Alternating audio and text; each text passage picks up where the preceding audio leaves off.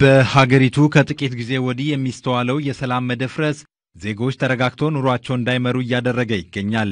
ለዚህም ሃይማኖትን መሰረት በማድረግ የሚነሱ ግጭቶች ተጠቃሽ ናቸው። የንግድ ስርዓቱን በማዛባት ነዋሪውን ላላስፈላጊ ውጥረት የሚዳርጉ አካላት መኖራቸውም እንዲሁ ይነገራል።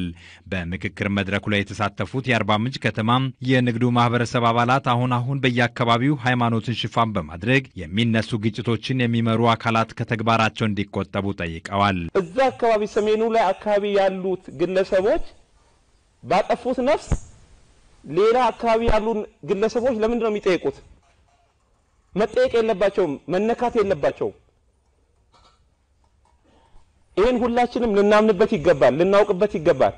የአርባ ምንጭ ከተማ አሁናዊ ሰላም ለቀጣይ ዋስትናዋ አይደለም ያሉት የውይይቱ ተሳታፊዎች የአካባቢው ሰላም ሲደፈርስ ቀዳሚ ተጠቂው የንግዱ ማህበረሰብ በመሆኑ በንቃት ሊጠብቅ ይገባልን ብለዋል።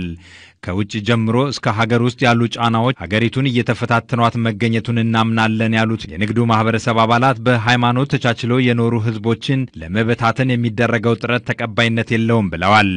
በየአካባቢው የጸጥታው አካል ቅድመ ትንተናና ደረጃውን የጠበቀ ትንበያ ባለማድረጉ እንዲሁም በመንግስት የሥራ ኃላፊዎች የዘገዩ የፖለቲካ ውሳኔዎች አሁን በሀገሪቱ ለሚከሰቱ የጸጥታ ችግሮች ምክንያት ናቸውም ብለዋል። መንግስት አካላት ወይም ጸጥታ ኃይል ቅድመ ትንበያ ያለመጠናከርና ያለመተንተን፣ የማህበረሰቡ ችልተኝነት፣ የሃይማኖት ድርጅት የአስተምሯቸው የተዛባ ነው። ሌላው የማህበራዊ ሚዲያ አጠቃቀም መድረኩን የመሩት የደቡብ ክልል ጤና ቢሮ ምክትል ኃላፊ አቶ ማሙሽ ሐሰን በበኩላቸውም ሀገሪቱ የጀመረቻቸውን የለውጥ ጉዞ ለመቀልበስ የሚጥሩ ኃይሎች መኖራቸውን አስታውሰዋል። ባሳለፍናቸው አራት ዓመታቶች አካባቢ ያሉ ሰፊ ለውጦች አሉ። ነገር ግን በዛው ልክ ደግሞ ይህንን ለውጥ ሊያስቆም የሚችል ወደ ተለየ አቅጣጫ ሊወስድ የሚችል ስጋቶች አሉ። እንግዲህ የትኛውም ሀገር ያለ ዜጎቹ ባለቤትነት ያለ ዜጋ ቀጥተኛ ተሳትፎ የተገነባ ሀገር የለም ዓለም ላይ።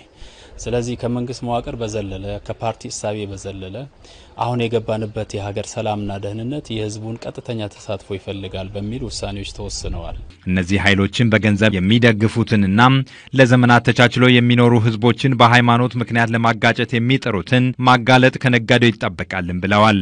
የአርባ ምንጭ ከተማ የመንግስት ዋና ተጠሪ አቶ ተስፋ ጽዮን ዘነበ በበኩላቸው የንግዱ ማህበረሰብ የሀገሪቱን አራቱን አቅጣጫዎችን የሚያዳርስ በመሆኑ ለከተማዋ ዘላቂ ሰላም መጠበቅ አስተዋጽኦ የላቀ ነው ብለዋል። ሰላማዊ በሆነ መንገድ የሚገባው የሚወጣው ይኖራል።